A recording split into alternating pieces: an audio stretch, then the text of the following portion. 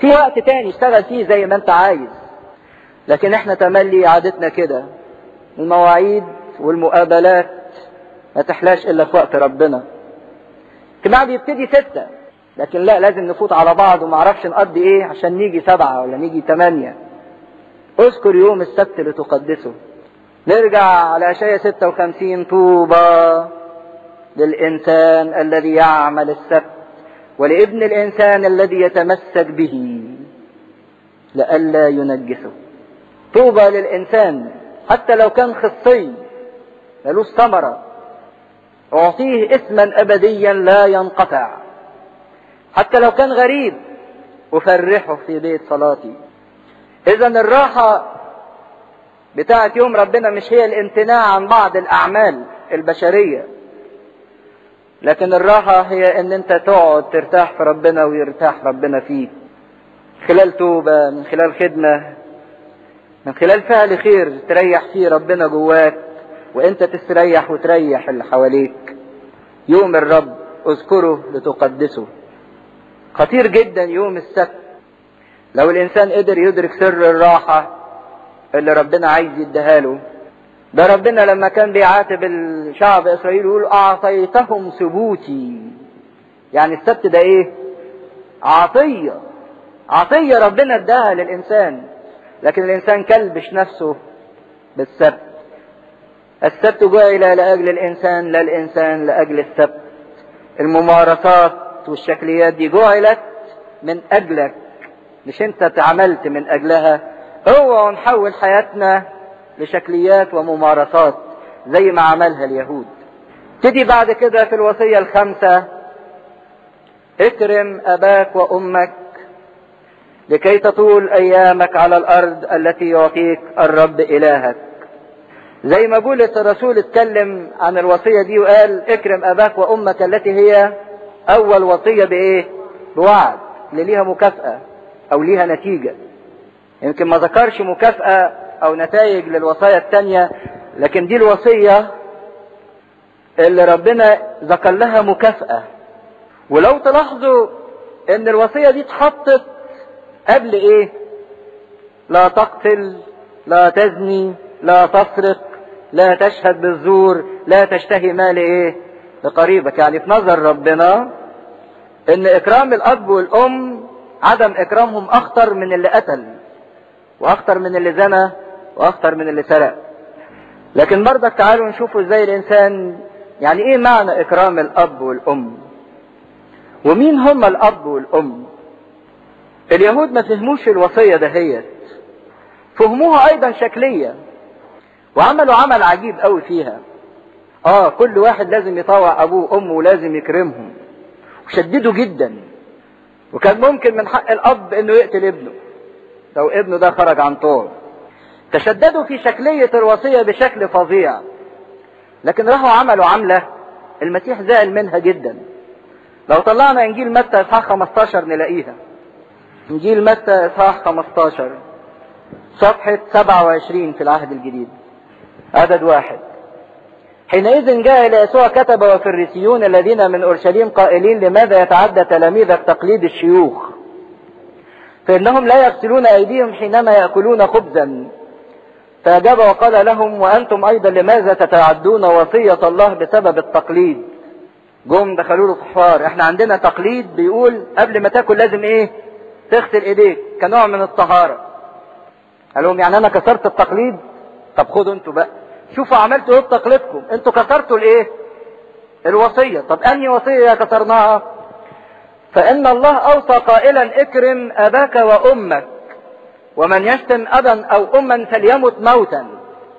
وأما أنتم فتقولون من قال لأبيه أو أمه قربانا هو الذي تنتفع به مني فلا يكرم أباه أو أمه. فقد أبطلتم وصية الله بسبب تقليدكم. إيه معنى الكلام ده بقى؟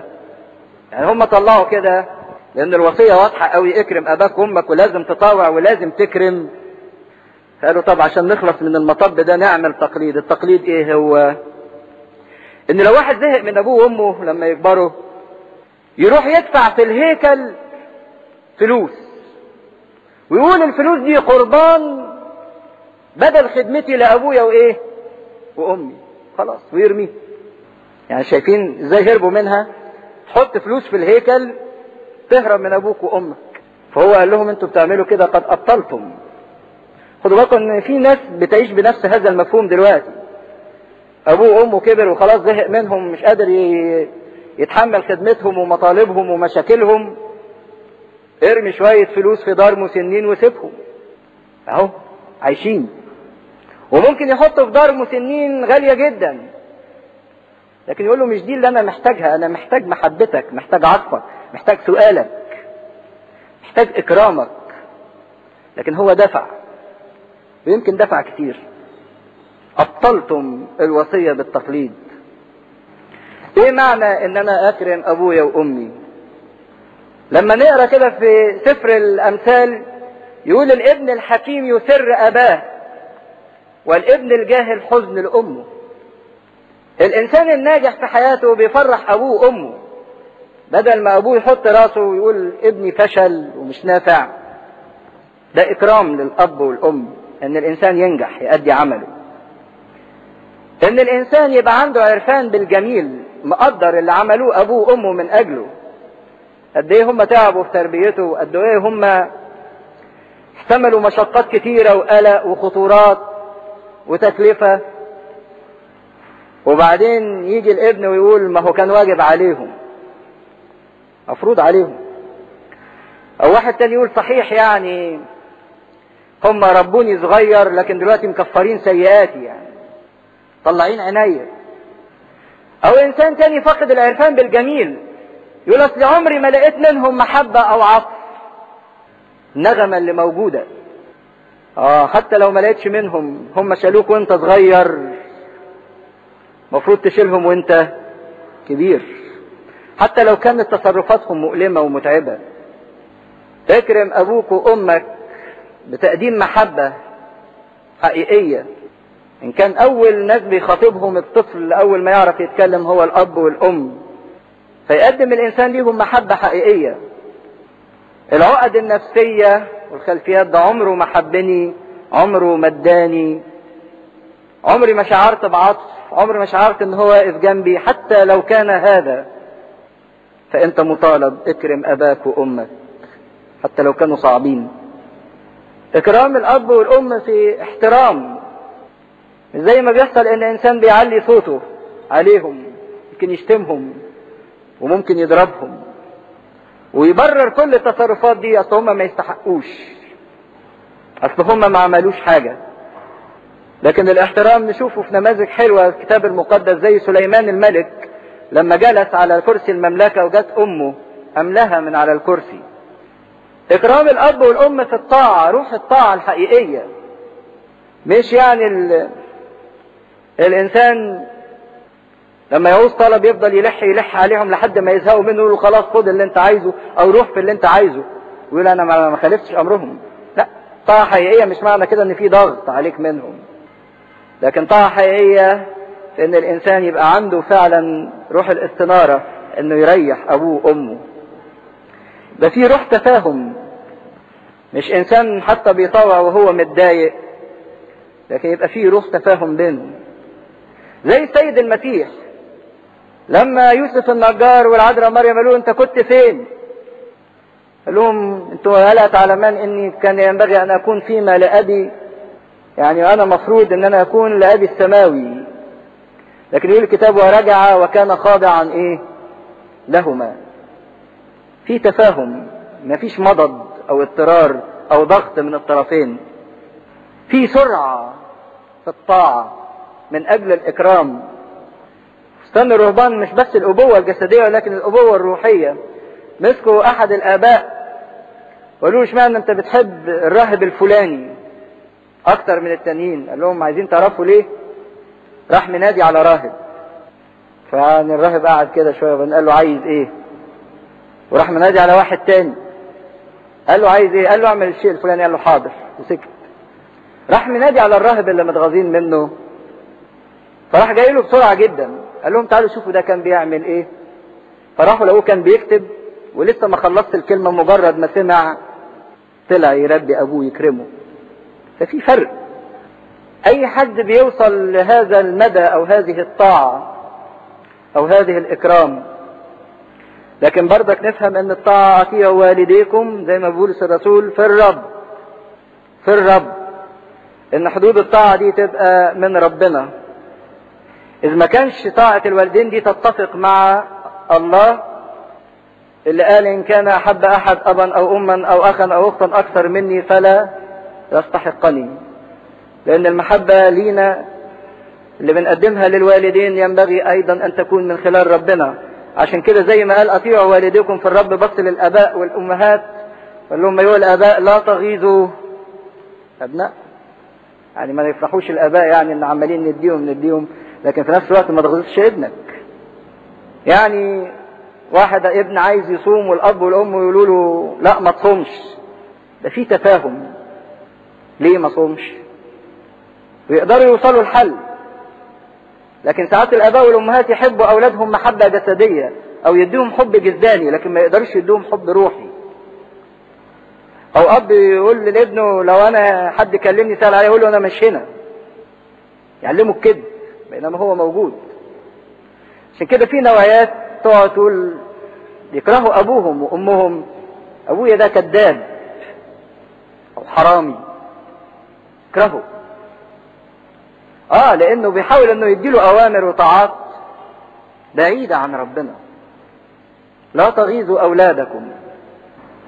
لكن لما يبقى في البيت فيه روحانية ويعرف إن أبوه ده إنسان روحاني ليه مبادئ وليه آراء هو نفسه يتطبع بيها. لكن لا دي حجة ولا دي حجة. يعني لو الأولاد وحشين مش حجة للآباء والأمهات إن هم يغيظوا أولادهم. وحتى لو الآباء والأمهات وحشين وما قدموش حب ورعاية مش حجة للأولاد إن هم يتذمروا على أولاد آبائهم. مش حجة. لكن دول يشيلوا هم صغيرين ودول يشيلوا هم كبار. اكرم أباك وأمك التي هي أول وصية بوعد.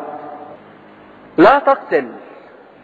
إن كان القتل ده أو الروح هي أصلا ملك ربنا فالإنسان ملوش سلطان إنه يموت غيره. لكن عشان ما نطولش في أنواع كتيرة من القتل تقدروا تفكروا فيها. في واحد بيقتل التاني باللسان لما بيتكلم عليه ويغتابه وينم عليه ده نوع من الموت. لما بتتريق على غيرك أنت بتهد شخصيته أنت بتحقر منه ده نوع من القتل. لما تغضب ده نوع من القتل. في قتل بالكلام غير القتل اللي بالجسد. في قتل بالمسؤولية لما بتهمل في مسؤوليتك ونتيجة إهمالك ناس كتيرة بتضيع. وياما كل يوم كوارث بسبب الإهمال. وبسبب اللامبالاة. يقول لك ما كانش قصدي. ده ربنا اللي عمل كده. في قتل بعدم المسؤولية. في قتل بالنية من قال يا أخيه أحمق ومن غضب على أخيه فهو إيه؟ قاتل نفس. عشان كده الوصية ليها أبعاد كتيرة. لا تقتل. شوف بقى إحنا بنقتل إيه. ممكن بتقتل غيرك بالكلام أو بعدم المسؤولية أو بالفعل. عشان ما حدش بيقول إحنا مش قتالين يعني. ممكن بتقتل ربنا. بتقتل الكلمة بتاعته وتخنقها. عارفين المثل اللي قاله بتاع الأرض الجيدة؟ لكن طلع معاها إيه؟ شوك خنق الكلمة خنق المسيح. موته. ممكن بتقتل نفسك. كل خطية الإنسان بيفعلها بيقتل إيه؟ نفسه. عشان كده ما حدش يقول لي إحنا ملناش دعوة بالوصية دي لا تقتل الحمد لله. لا إحنا بنقتل وبنقتل كتير. نقتل كتير قوي. لما بتحترمش غيرك وما تقدروش بتدوس عليه عشان تطلع أنت عليه وتاخد اللي أنت عايزه. قتل قتل لا تزني. وما فيش خطية أتعبت الإنسان قد خطية الزنا. يعني دي الحاجة اللي تملي بيحتاجها. أو يعني كل البلاوي جاية من وراها. ليه الإنسان بيزني؟ موضوع كبير. فراغ العاطفي اللي موجود ومش لاقي حد يشبعه. عدم ضبط النفس والتسيب. النظرة الخاطئة. عشان كده المسيح جابها من جوه. من نظر فقد زنى. لا تسرق. كلنا مش حرامية الحمد لله. لكن أوقات كتير الإنسان بيسرق حاجات كده يعني مش باينة. لما بتسرق وقت الله ولما بتسرق وقت غيرك ولما تسرق أفكار غيرك ولما تاخد حاجة غيرك اصلي استلفتها منه بس استعرتها على طول. حاجات صغيرة لكن بتبقى كبيرة. لما تسرق مشاعر غيرك تسرق حق غيرك الإخوات يفضلوا يتخانقوا على الميراث برغم إن الحق يبقى واضح لكن كل واحد يقعد يعمل شوية ألاعيب عشان ياخد أكتر. سرقة. إنسان بيعيشها بأشكال مختلفة. ما هماش الحرامية اللي بيتحطوا في السجن دول الظاهرين. لكن في أوقات كتيرة جدا الإنسان بيسرق حاجات كتيرة. يسرق ربنا يسرق غيره وممكن يسرق نفسه. لكن بولس الرسول في رسالة أفسس يقول كده لا يسرق السارق فيما بعد بل بالحري يتعب في عمل يديه لكي يعطي من ليس إيه له ده البعد الآخر أو العهد الجديد. مش بس وصية ما تعملش كده لكن اعمل أكتر من كده. لا تشهد بالزور على قريبك. يوم ما بنقعد ندين غيرنا ونتكلم على غيرنا شهادة زور. وإحنا لا عارفين حاجة ولا شايفين حاجة لكن كل واحد عامل نفسه إنه فاهم يعني وخبير. آه ده هو بيعمل كده عشان كده. شهادة زور. كذب. سواء المدح أو الذم ليها أبعاد كتيرة لكن الإنسان يقعد يفكر يا ترى أنا بعمل كده ولا لا؟ لا تشتهي بيت قريبك لا تشتهي امرأة قريبك ولا عبده ولا آمته ولا صوره ولا حماره ولا شيئا مما لقريبك. كل اللي فات ده كوم وراح في آخر وصية دي جت سبب كل البلاوي. هو أنت بتقتل ليه؟ تشتهي. بتزني ليه؟ تشتهي. بتسرق ليه؟ تشتهي. راح جاب أصل الخطايا كلها في آخر واحدة لا تشتهي. ودي مصيبة الإنسان إن كانت كل الخطايا اللي قبل كده خطايا عملية الإنسان بيعملها بإيديه لكن دي خطايا إيه؟ فكرية. وهي أساس كل الخطايا. أي خطية الإنسان بيعملها هي نتيجة الشهوة. يقول كده يعقوب الشهوة إذا حبلت تلد خطية والخطية إذا كملت تنتج موتا. الشهوة إذا حبلت تلد خطية والخطية اذ كملت تنتج إيه؟ موتا. صراحة حطيت لهم آخر وصية الوصية العشرة دي بقى جامعة الكل أصل الخطايا. لكن إيه الفرق عشان نبقى واضحين بين الإعجاب والشهوة؟ هو معنى كده يعني أمشي حاطط عينيا في الأرض حتى يعني ما أشوفش حاجة جميلة أشتهيها أو أفرح بيها مثلا. يعني الواحد يعمل إيه يعني؟ ما هو الإنسان كله إيه؟ رغبات. زي ما بيقولوا إن الإنسان بير من الرغبات. إيه الحد أو الفرق بين الشهوة وبين الإعجاب؟ إيه الخيط الفاصل وهو خيط رقيق جدا؟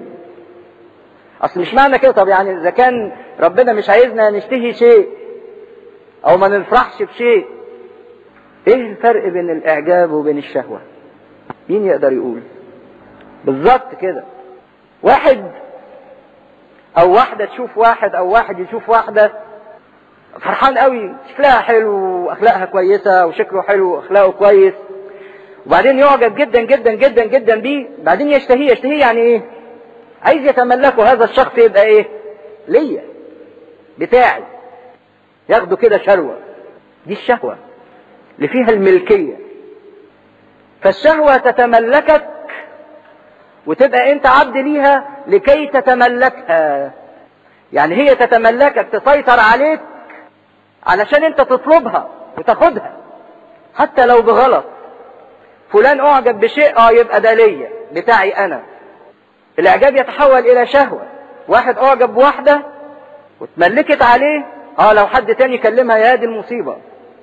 لأن الحاجة دي إيه؟ بتاعتي. بقت بتاعتي أنا. زي الطفل.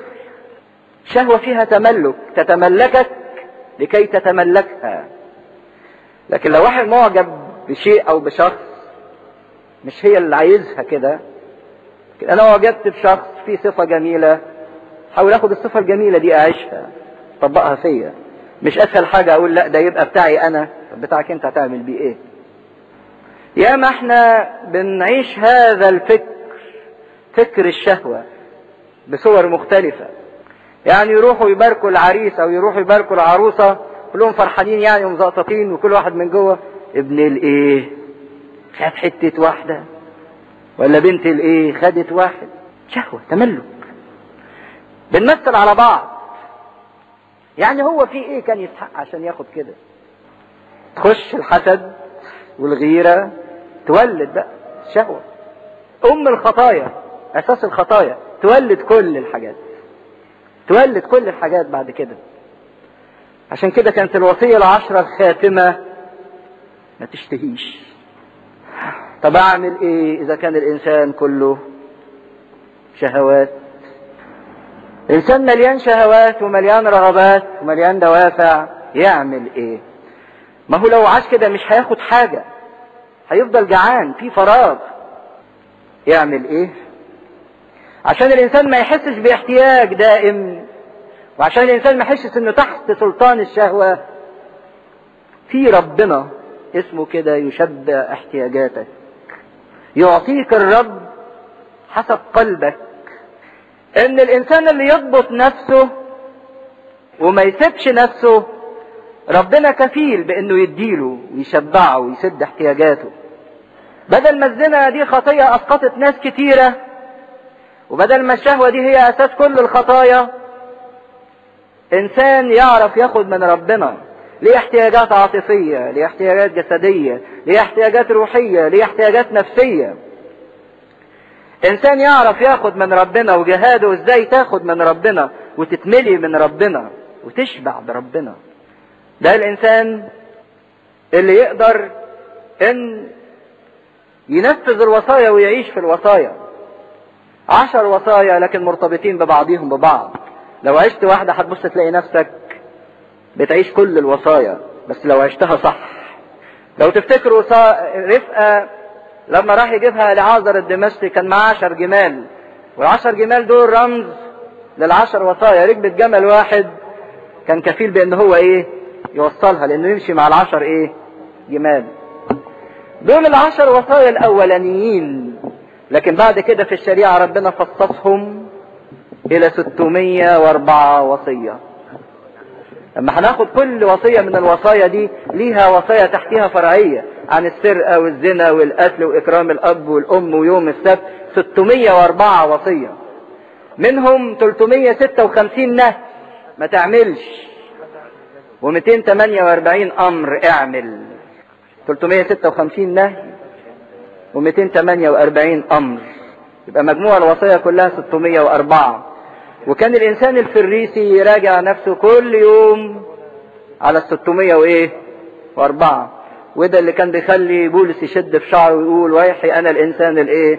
الشقي. من ينقذني من جسد هذا الإيه؟ موت. لكن لما جه واتعرف على نعمة ربنا قدر يتغير. الأسوأ اللي كانت فيه نتيجة الصراع اللي جواه 604 وصية بيراجع كل يوم نفسه عليها كفريسي قدر يتغير لعمل النعمة وذوق النعمة. ده اللي نبتدي نتكلم عنه عن عمل النعمة في الوصايا الأسبوع الجاي. قريبك يعني اللي جنبك أي إنسان قريبك. أي إنسان لأن أي إنسان هو قريبك. ارجع في الأصل إن أي مخلوق هو إيه؟ أخوك لأنك من أب وأم إيه؟ واحد. أي إنسان هو إيه؟ أخوك. والخلاف اللي حصل في الأول كان بين قايين وإيه؟ وهابيل اللي كانوا إخوات. رجعك للأصل. أيوة. ما دي قلناها المرة اللي فاتت. أيوة. كل نفس تموت بإيه؟ بخطيئتها لا ما دي معنا معناها المرة اللي فاتت إن ربنا بيطول باله حتى الجيل الثالث والإيه؟ والرابع. لو أصروا إن هم يكملوا نفس خطيتهم يبتدي يعاقب دي مش بتورينا ظلم ربنا دي بالعكس بتورينا طول أنات مين؟ ربنا. إنه بيطول باله لحد الجيل الثالث والإيه؟ الرابع. السؤال الثاني حكاية المشيئة والسماح. حكاية المشيئة والسماح إزاي ربنا ما تبقاش مشيئته لكن بيسمح. ارجعوا اقروا قصة إيليا مع نابوت اليزرعيلي وأخاب الملك. إزاي أخاب الملك ده موت موت نابوت اليزرعيلي باسم الرب بمشيئة ربنا. اتكلم باسم ربنا إيه؟ باطل. وبعدين ورث. وربنا سمح إن نابوت يموت لكن ما كانتش مشيئة ربنا إن إيه؟ نابوت يموت. لكن ربنا سمح له. وقال له انت اتكلمت باسمي إيه؟ باطلا. ساعات الإنسان يبقى عايز حاجة بيقعد يخطط لها ويرسم لها ويحط على الآخر يافطة كده ده يبقى سماح من مين؟ أو هي دي مشيئة ربنا. لا. ده ربنا سمح معلش. انت خططت ورسمت قتلت وورثت. لكن ربنا سمح مش دي مشيئته. حتى في الارتباط ما هو الشيوعيين ملحدين واتنين بيحبوا بعض وبيعيشوا حياة ناجحة. ما تقولش دي مشيئة ربنا لأن أصلا ربنا مش موجود. لكن ده ربنا سمح. فدي الفرق بين المشيئة والسماح. حد يحب يقول حاجة تاني؟ القتل القتل بتعتبره الكنيسة في الحروب من أجل الدفاع عن النفس شيء مشروع. وتنفيذ القوانين الحكومية شيء مشروع. لكن أنت ما تاخدش طارك بإيه؟ بإيدك. ما تقتلش. وده البعد الجديد اللي هنتكلم عنه عن عمل النعمة في وصيه العهد الجديد. في زمان يقول لهم تعملوا كده اللي بيسرق تقطعوا ايديه واللي ما عرفش يعمل إيه تعملوا إيه؟ لكن في العهد الجديد مفيش حاجة تتعمل فيه. لازم يتساب له فرصة من أجل إن هو إيه؟ يتوب. ده اللي هنتكلم فيه المرة الجاية. اتفضلوا نسلم إصحاح عشرين. سفر الخروج إصحاح عشرين من عدد 18 وكان جميع الشعب يرون الرعود والبروق وصوت البوق والجبل يدخن ولما رأى الشعب ارتعدوا وقفوا من بعيد وقالوا لموسى تكلم أنت معنا فنسمع ولا يتكلم معنا الله لئلا نموت. فقال موسى للشعب لا تخافوا لأن الله إنما جاء لكي يمتحنكم ولكي تكون مخافته أمام وجوهكم حتى لا تخطئوا. فوقف الشعب من بعيد وأما موسى فاقترب إلى الضباب حيث كان الله. فقال الرب لموسى هكذا تقول لبني إسرائيل أنتم رأيتم أنني من السماء تكلمت معكم. لا تصنعوا معي آلهة فضة ولا تصنعوا لكم آلهة ذهب.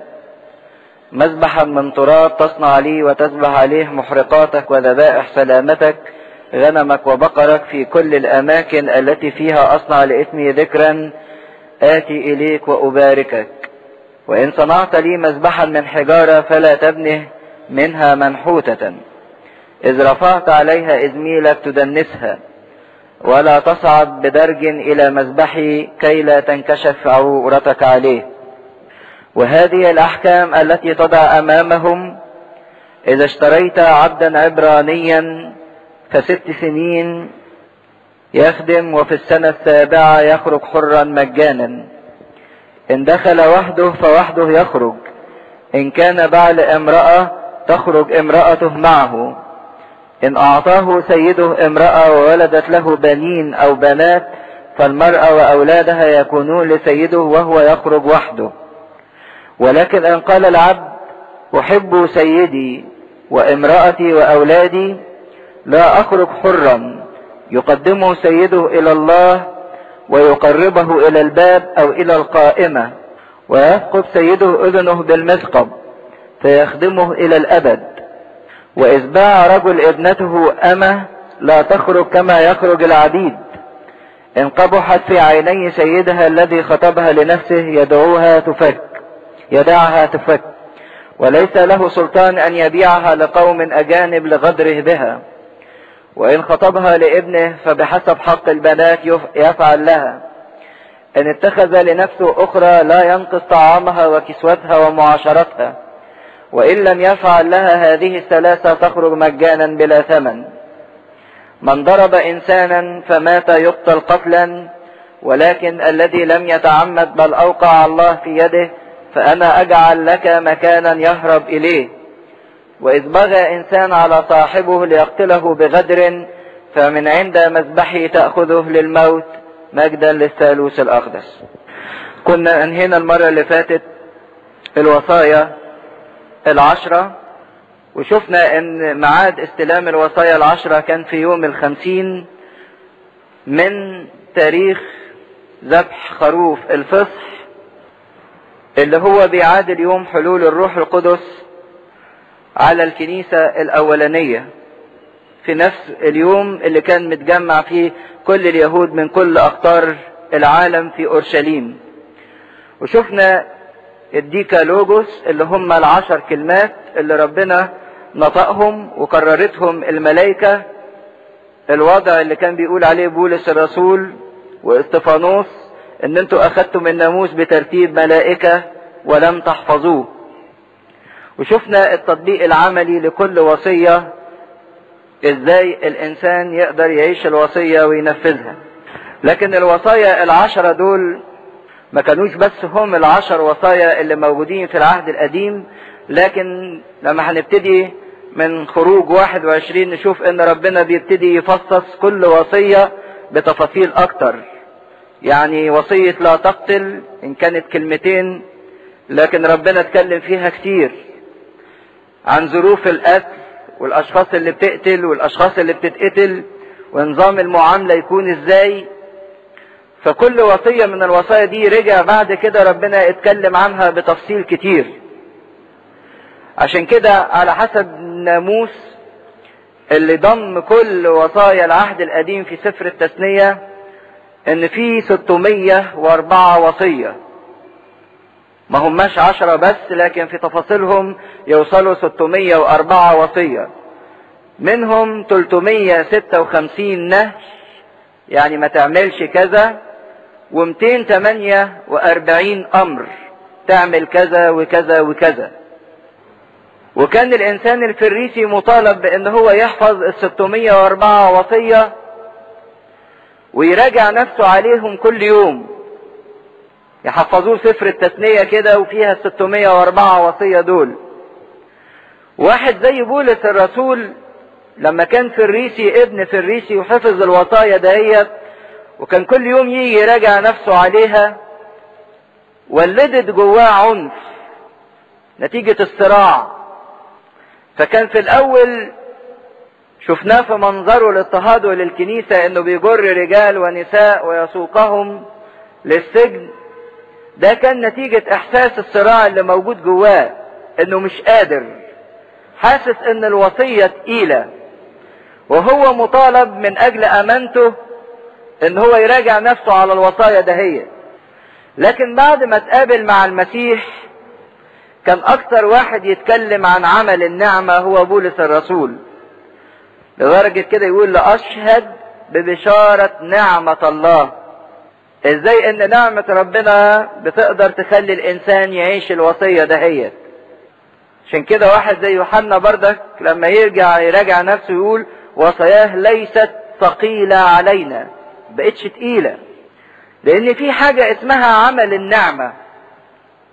هو اللي يقدر أو عمل النعمة ده اللي يخلي الإنسان يقدر ينفذ الوصية ويعيش الوصية بارتياح. ما هياش كب يعني يجي يقول له لا تشتهي ما تشتهيش. آخر وصية من الوصايا العشرة اللي هي سبب كل الغلط أو كل الأخطاء أو كل الوصايا التانية مبنية عليها. لكن الإنسان واجد نفسه جواه شهوة. هيعمل قدامها إيه؟ جواه شهوة. وفي نفس الوقت ربنا بيقول له ما تشتهيش. فالتصرف الخاطئ اللي كان بيعمله إنه يكبت. يكبت جواه. وكت ورا كت ورا كت كان بيؤدي إلى انفجار. فما كانش الإنسان مستريح. قدامه غلط والغلط ده لذيذ. وهو حاسس بميل ناحيته. وفي نفس الوقت قدامه وصية بتمنعه وتحرمه من الغلط ده هو. فعشان يقدر يوفق بين الاتنين كان بيكبت في نفسه. لكن بيكبت من غير ما بيعرف يتصرف إزاي صح؟ كانت الوصية بدل ما بتريحه بتتعبه أكتر. لأنه معرفش إزاي يعيش الوصية. معرفش إزاي يستمد نعمة من الله تقدر تديله قوة إن هو يعيش الوصية صح. مش بكبت أو بحرمان لكن بقدرة إن هو يمشي صح. عشان كده حصل موقفين بعد ما ربنا إدى الوصية للإنسان الإنسان يستعجب منهم قوي. يقول وكان جميع الشعب يرون الرعون والبروق وصوت البوق والجبل يدخن فلما لقوا المنظر ده المخيف قالوا لموسى إيه؟ مش عايزين ربنا يكلمنا مش عايزين ربنا يكلمنا لألا نموت. لو ربنا اتكلم معانا هنموت لأن الإنسان سمع كلام وهو عارف انه مش هيقدر عليه. والمنظر مخيف ومرعب جدا. فقالوا له لا ربنا ما يكلمناش. فكان رد موسى إيه؟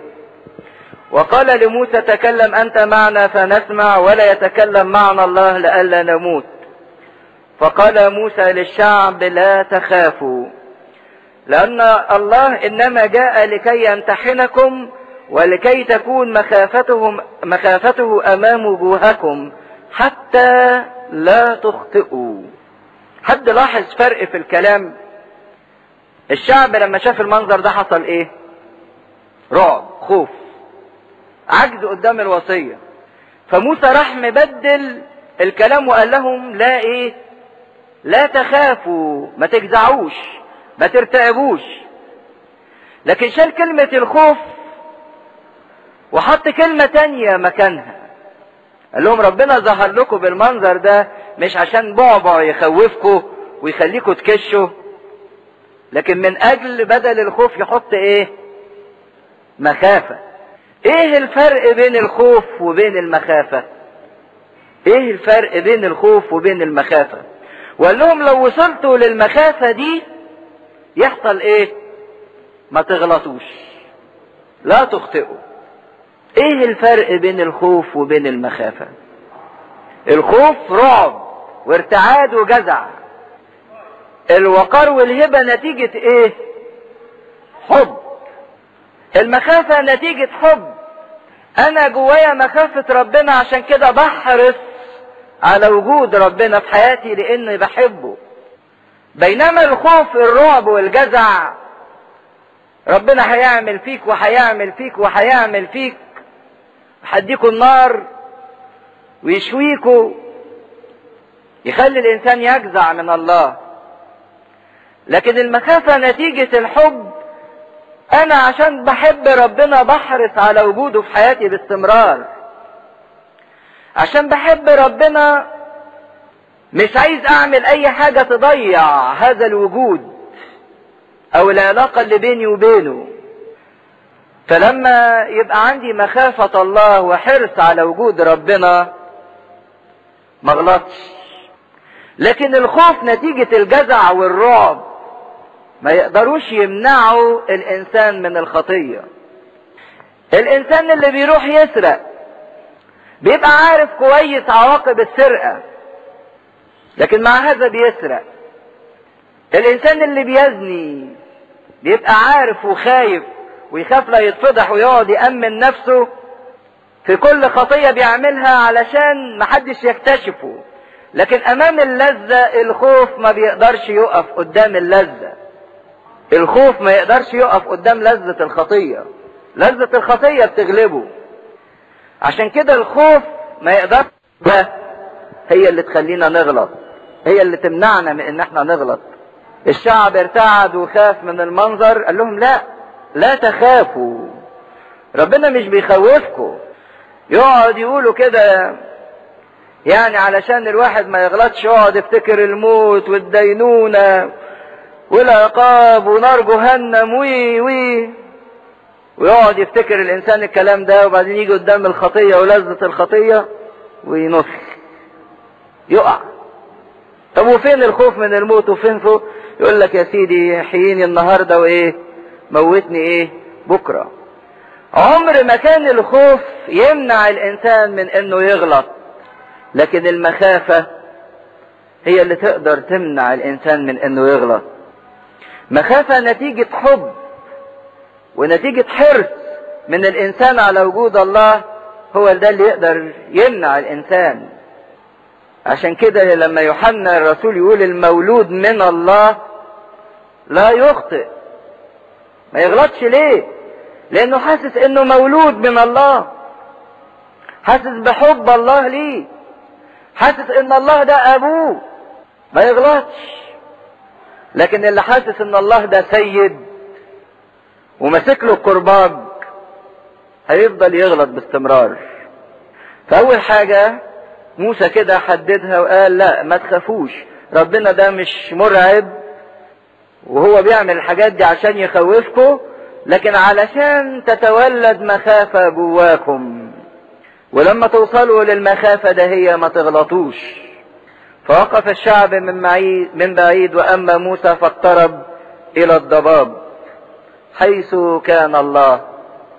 دخل جوه الضباب ويورينا إله العهد القديم. الضباب حيث الاحتجاب مش واضح.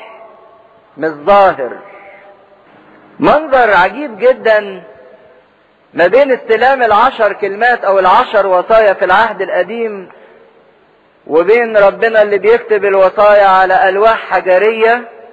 ويمكن لما جه واحد يحب يمثل هذا المنظر في فيلم الوصايا العشرة بيصوروا كده إن كورة من النار تطلع وتروح رشقة في اللوح الحجر وإيه؟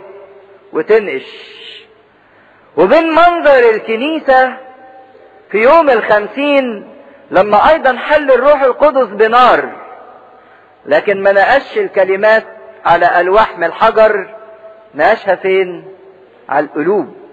منظر مختلف بين الله المحتجب في العهد القديم حيث الضباب وبين عمل الروح القدس وعمل النعمة في العهد الجديد وهي بتنقش الوصايا جوه.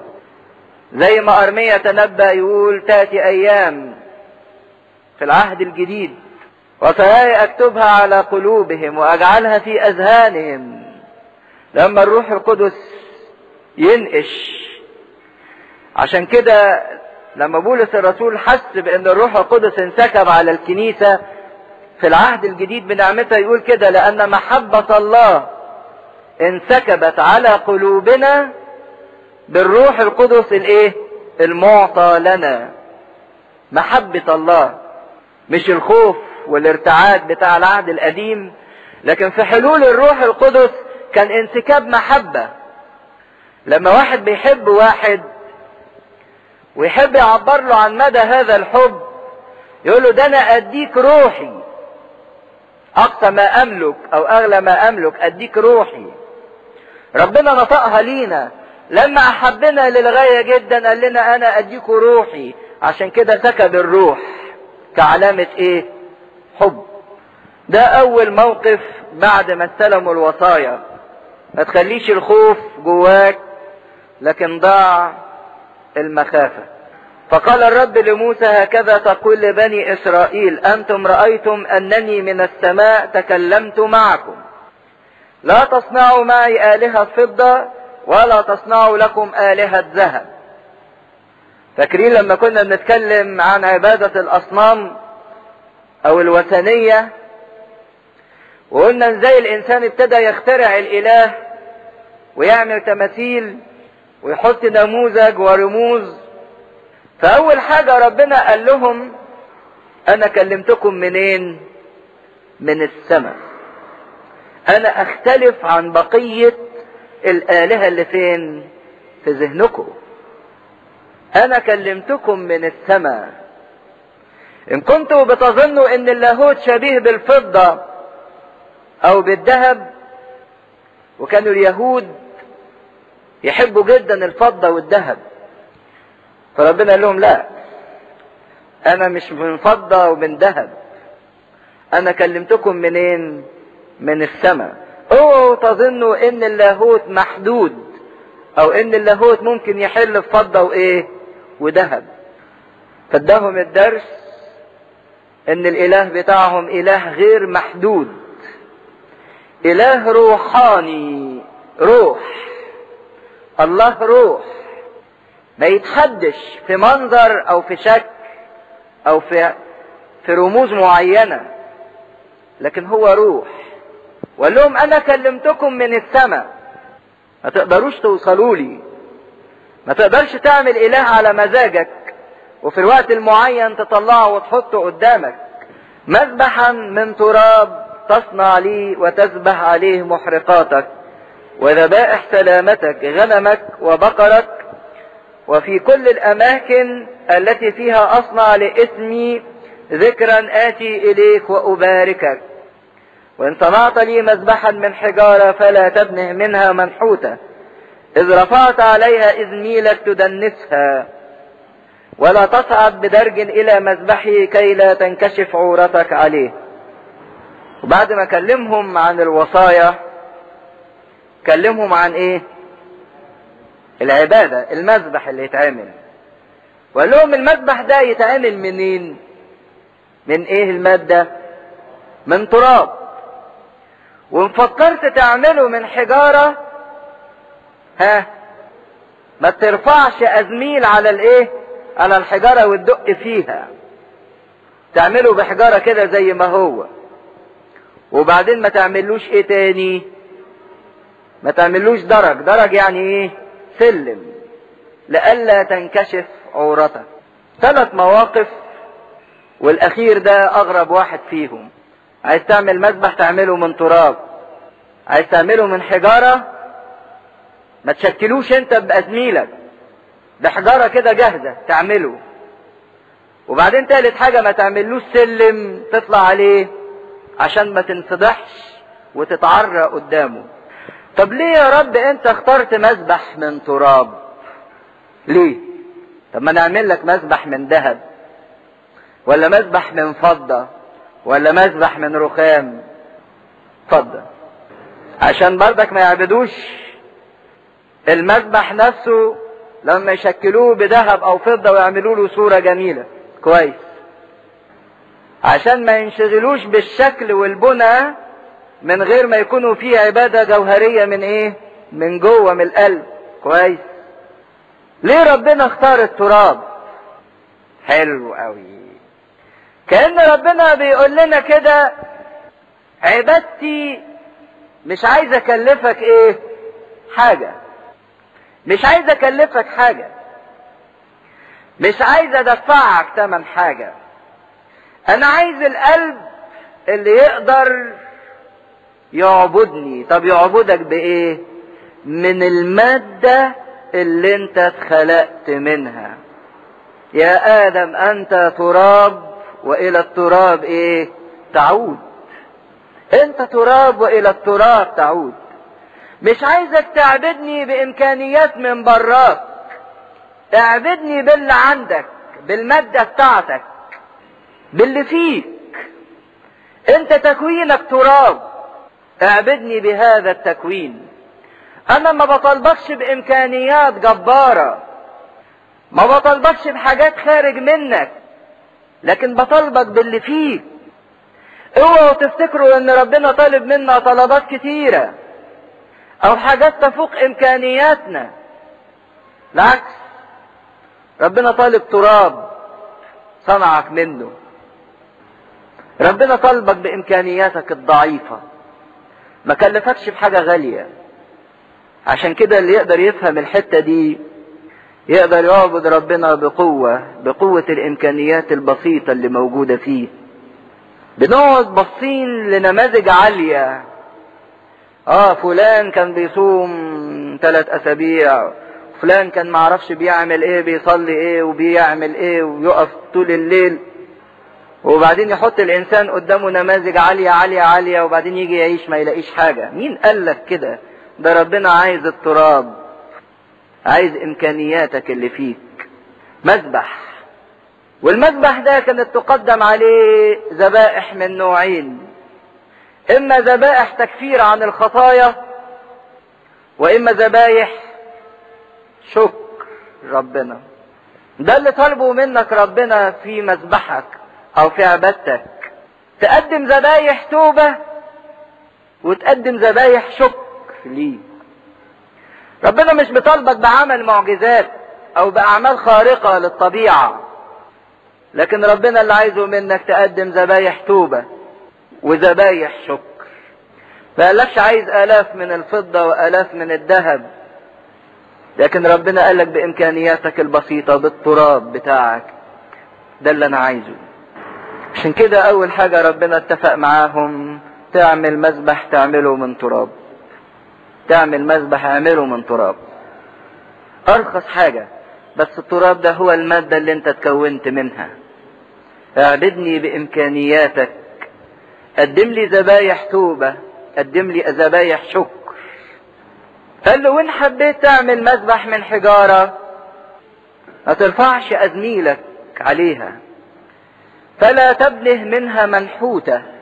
ما تقعدش تشكلها بإيديك. لأنك لو رفعت أزميلك عليها تعمل فيها إيه؟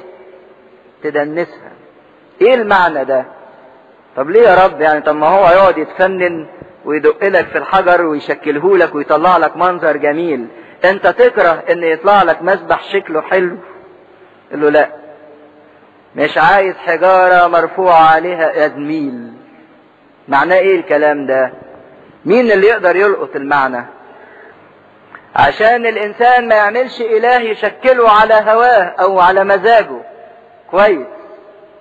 الأزميل ده يمثل إيه؟ يمثل إيه في حياة الإنسان؟ عمل اليدين أو البر الذاتي. لا هتعبدني زي ما أنا عايز مش زي ما أنت إيه؟ عايز. مش بأعمال أنت هتخترعها. ونواميس انت تحطها وطقوس انت تبنيها. ما ترفعش أزميلك عليها عشان ما تنجسهاش. لكن هي دي مشكلة الإنسان. كل يوم بيرفع الأزميل ويعبد ربنا على إيه؟ على مزاجه أو بأعمال البر الذاتي. يصرخ اشياء كده ويقول كل أعمال البر اللي عملناها كخرقة نجسة. كل أعمال البر الذاتي كخرقة نجسة. ثالث حاجة يقول له لما تعمل المذبح ما تعملوش إيه؟ سلم. لئلا تصعد على السلم فتنكشف عورتك. حاجة غريبة يعني. ليه ربنا بيقول الكلمة دي يعني؟ ليه؟ آه حاضر. السلم ده رمز الايه صعود يعني. علو يعني كبرياء. ربنا بيقول له ما أناش عايز إيديك تتمد لا في طريقة البنى ولا في طريقة الإيه؟ الوصول إلى المذبح. لا في طريقة بنى المذبح ولا في طريقة الوصول إلى المذبح. السلالم دي كبرياء. هتطلع على كبرياء هتتفضح. تبان إنك إيه؟ عاري مفضوح. وربنا مش عايز حد يبقى عريان قدامه. ليه؟ وكان بيصر على الحتة دهيت يعني واحد يقول يعني هو منظر سخيف يعني. لكن لا ربنا أصر إن هو يذكره. ارجعوا زي ما كنا بنتكلم عن عبادة الوثنيين. إن ارتبطت عبادة الأصنام بالإيه؟ بالشهوة وبالعري. عشان كده لما تروحوا تشوفوا كل الآلهة التماثيل عاملينها آلهة إيه؟ عريانة. عاملينها آلهة عريانة. فارتبطت العبادة في ذهنهم بالعري. وربنا يقول لهم لا أنا ما أحبش عريان إنسان عريان. لما آدم وحواء حسوا إن هم عريانين ربنا عمل فيهم إيه؟ لبسهم. أصل العري ده نتيجة الإيه؟ الخطية. وما أحبش حد يقرب مني وهو عليه خطيته. يتكسي. وما ياخدش أي إمكانيات تساعد إن عورته تنكشف أو عريه ينكشف. عشان كده لما تصنع المذبح ما تعملوش سلالم. لئلا تتكبر والكبرداء ده يقودك إلى العري. زي ما آدم وحواء حبوا إن هم يتكبروا ويصيران مثل الله عارفين كل شيء وعارفين الخير والشر فكانت النتيجة ان هم إيه؟ اتعروا. كانت النتيجة انكشفت عورتهم. فعشان كده ربنا حذر الشعب من الأول لا أنا اله يحب القداسة.